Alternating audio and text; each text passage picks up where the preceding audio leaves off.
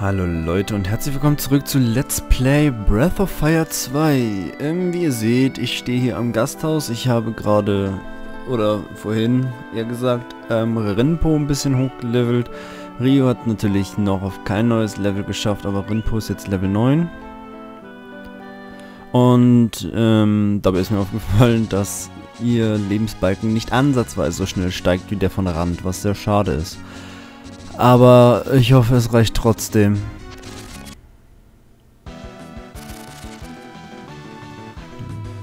Ja, komm, Angriff. Ich habe übrigens mittlerweile entschieden, dass sie untenrum keine Hose trägt, sondern dass das ihre Haut ist. Irgendwie so fellmäßig halt. Habe ich beschlossen. Sie ist... Weiß ich nicht, ob das so stimmt, aber ich kann mir auch wirklich gut vorstellen, dass das eine Mischung ist aus Haut und Fell. Sie hat ja schließlich auch irgendwie einen Tigerschwanz oder was ist das? Einer nur zum Aufwärmen erstmal, ja. Sniperkopf. Das ist auch sein Name, ne? Müssen wir erstmal drüber klar werden, dass der dumm ist. Haha. Auseinandergepflückt, sag ich da mal. Gibt ja eigentlich nur diese Sniperköpfe? Hm. Nein, es gibt auch rote Bilbuls. Zunbull wird das dann. Mhm. Kein Schaden. Bisschen Schaden. Ja, es ist okay. Alles aushaltbar.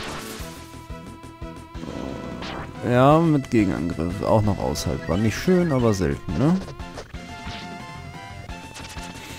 Hatte ich mir gedacht. Dass der jetzt drauf geht. Die werden wahrscheinlich auch so um die 60, 70 Leben haben. Ja, genau.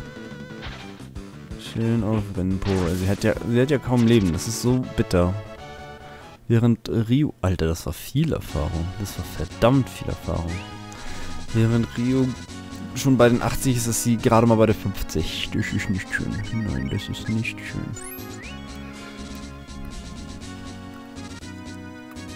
Hm.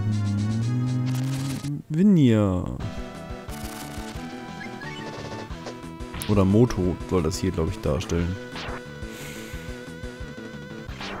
Ja.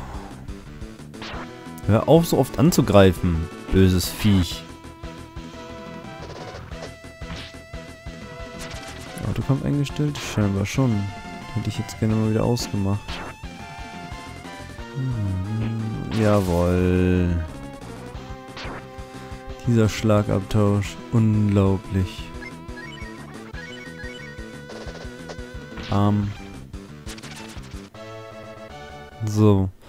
Und wie ich Murphys Gesetz kenne, würde hier auf der Brücke noch was auf mich warten. Deswegen gehe ich einfach auf Nummer sicher und hau nochmal Kräuter raus.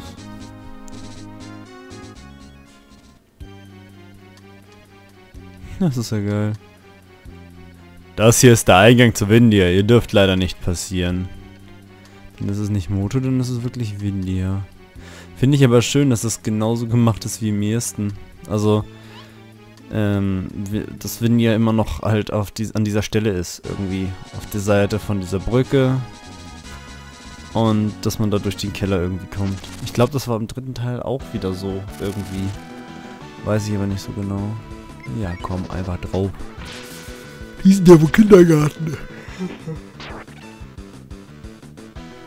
Gut. Damit ähm, zeigt sich folgendes Problem auf. Ich habe keine Ahnung, wie wir weiterkommen sollen. Hier gibt es aber ordentlich Erfahrung.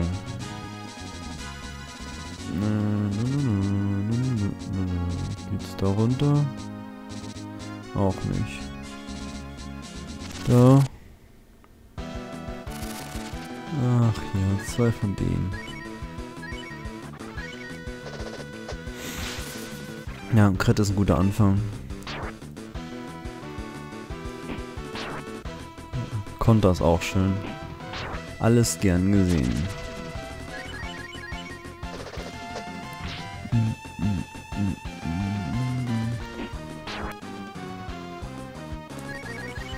Dafür muss man ihr lassen, auch wenn sie wenig Leben hat. Sie ist verdammt schnell und sie macht gut Schaden. So. Sie ist halt so typische Dieb-Klasse, irgendwie Mischung aus Dieb und Mönch, würde ich sagen.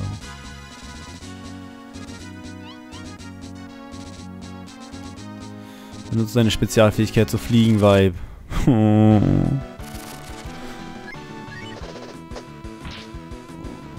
Oder war Moto die Anfangsstadt? Ich hab, ich hab das echt mit Namen, das ist echt schlimm bei mir.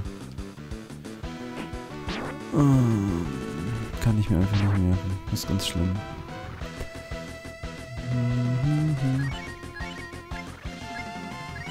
Kannst du überhaupt Magie? Nein.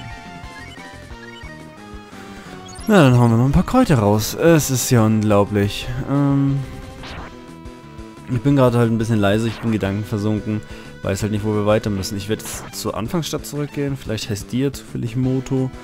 Es tut mir leid, ich bin schlecht in Sachen merken. Also besonders in Namen merken, das ist ganz schlimm.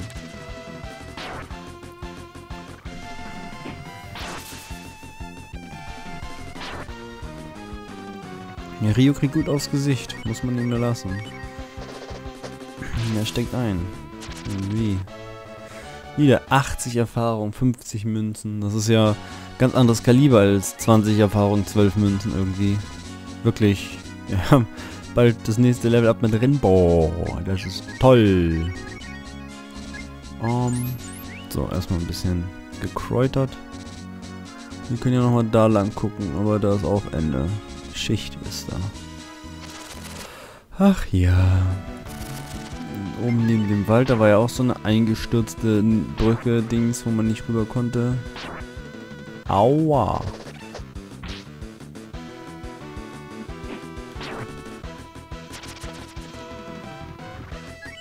Und du zocken Kräuter auf dich selber.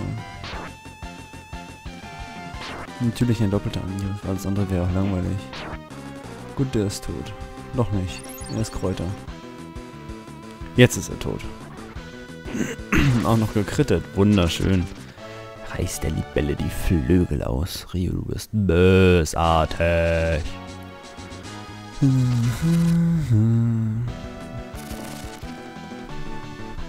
Eine. Das ist aber lächerlich. Da können wir wirklich ein Auto hit. Oh, sagte er. Winpo kriegt schon wieder gut auf Fresse. Naja. Und wieder Kräuter benutzen. Was ja alles nicht so schlimm ist, weil wir mehr Geld kriegen, als wir Kräuter ausgeben können. Und das ist schon mal eine gute Grundbedingung für Leveln. So. Na komm. Ich kann ja nochmal gucken, vorsichtshalber. Nicht, dass ich dann da was vergessen habe oder die die Brücke erweitert haben. Dann gehen wir zur Arena, werden damit einreden. Ich glaube aber nicht, dass das was bringt. Und dann gehen wir zurück zum Anfangsdorf. 100er Crit, schön. Ach ja, ich habe euch schon wieder einen halben Part, beziehungsweise bis ich hier fertig bin, wahrscheinlich ein Part eurer Lebenszeit geraubt. Nur um herauszufinden, wo ich überhaupt hin muss. Ach, ist das schön. Ich hab's echt drauf. Doch, muss ich sagen. Ich bin, ich bin da stolz auf mich. ah ja, wieder diese lächerlichen Anzeigen. Zwölf Erfahrung. Ähm, in die Stadt und dann wisst ihr, dann kann mich das Spiel mal ein bisschen. Werdet ihr sehen, was hier abgeht. So, wir gehen mal in den Pub. Das ist immer eine gute Anlaufstelle, wenn man was rausfinden will. Der Kampf war nur ein Schaukampf, aber es gibt Leute, die sowas mögen. Und diese Leute sind auch mitverantwortlich, wenn sowas passiert. Der Kampf zwischen Rinbo und Barbadel war ein sehr guter Kampf. Ach ja. Geh nach Norden und du reist den Daguya-Weil. Gehe von dort aus nach Westen und du kommst nach Vindia. Ja, auch das ist mir klar. Nur lässt mich da keine Sau rein. Hi du. Ah, entschuldige, ich Toilette benutzen, ignoriere mich einfach bin nur ein armer Mann und lebe hier, weil ich kein Geld habe. Ja, das ist gleichermaßen verstörend wie eklig, würde ich sagen. So, Ran benutzt einen Trick. Er rollt sich zu einer Kugel zusammen. Ich glaube, er könnte das niemals... Ich könnte das niemals nachmachen. Ach, seid ihr alle toll. Wer bist du denn? Du siehst aus wie ein Pirat. Ich habe kein Heim und keine Arbeit. Ich wünschte, jemand würde mir ein Haus bauen. Ah, okay. Ich glaube dann, wenn das Haus fertig ist, dann werden wir ihn noch ein bisschen einladen. Auch den Typ auf dem Klo. Vielleicht ist das so eine Art Minispiel. Das gibt sowas ähnliches gibt es ja auch im dritten. Ähm, dass man dann da die Leute zusammen Kampfveranstaltung, Kampfkolosseum gegeneinander antreten, musst du etwas schon. Egal. Ähm, das ist halt so ein Minispiel, das Leute für sein Haus, Schrägstrich, dann später Dorf zu sammeln und das Rio dann irgendwann ein eigenes Dorf hat. So, dann gehen wir hier gleich nochmal rein, nach dem Zeitsprung. Die Kirche St. Eva ignoriere ich übrigens bewusst. Ich mag die irgendwie nicht. Ich glaube auch, das sind die Bösen. So, rein da.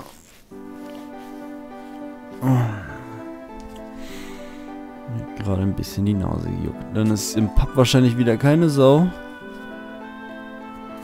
Ach, muss es scheiße da sein. Kaum zu glauben, dein Camper komplett inszeniert. Oh. Auch wenn die Satzstellung eine andere war, war der Inhalt der gleiche. Meckert nicht. Ach, so, ich komme mal gar nicht hin. Gerade mit euch wollte ich doch reden. Wir gucken mal. Kriegen wir hier noch ein bisschen Nabel. Willkommen im Itemladen. Ich hätte gerne Vita-Kugel. Weisenfrucht. Äh.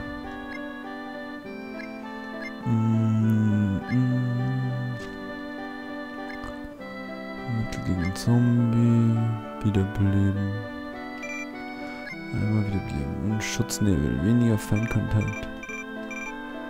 Und noch eine Lebenskugel. Ah, alles Geld wieder ausgegeben. Ja, haben wir gut gemacht. Ähm. Und runter, raus, vorbei. Hm. Weil mit diesen... Wir sind wieder in einem... Wir sind langsam wieder in einem Bereich angekommen, in dem es einfach lächerlich ist, hier noch weiter zu kämpfen. Weil die Gegner halt so lächerlich schwach sind. Da ist eine Höhle. Da müssen wir auch irgendwann mal rein, wenn Schiff... Ich habe doch einen Schutznebel benutzt!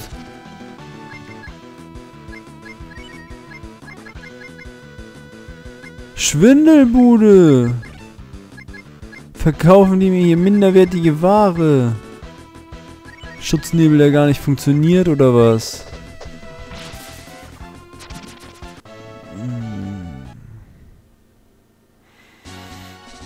No, einen versuchen wir noch, dann bin ich traurig. Weniger Feindkontakt. Ja, weniger, nicht keiner. Haha. Ihr seid ja geil drauf, ey. Sich vor Dieben in Acht. Ja. Ah, da ist eine Höhle. Waren wir da schon? Einfach mal ein bisschen forschen.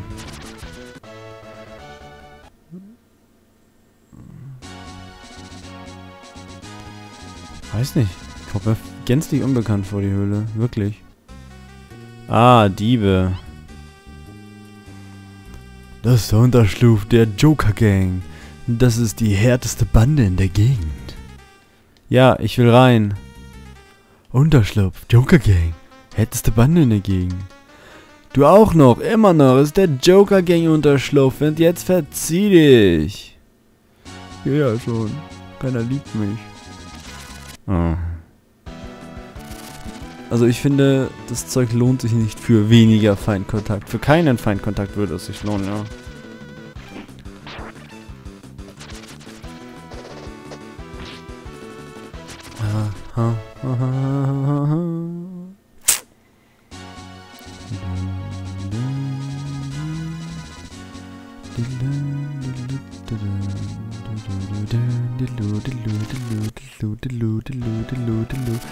So, komm, gib ihm alles. Kachaka, ping, pang, pungidi, pung. Ich habe das Gefühl, ich rede schon wieder ziemlich inhaltloses Zeug. Das ist aber gar nicht schlimm, weil dieser Part irgendwo hier zu Ende ist. Vielleicht sogar schon gerade zu Ende war. Das hier ist eventuell schon der neue Part. Ach, ich weiß es auch alles nicht. Ich weiß es doch alles nicht. Es ist eklig und schleimig. Tötet es bitte. Vielleicht kommen wir mit dem Wanderzirkus nach Moto. Auch noch so eine ähm, Option, die mir gerade einfällt. Oh ja, sieben Erfahrungen, äh, äh, acht Erfahrungen und sieben Münzen, so. Ja, Pustekuchen Wanderzirkus, das Thema hat sich scheinbar.